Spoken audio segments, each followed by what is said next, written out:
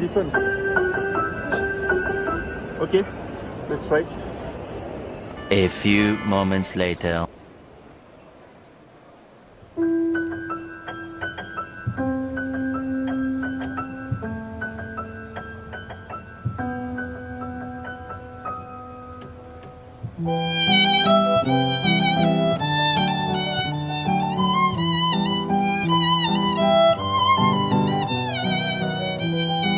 thank you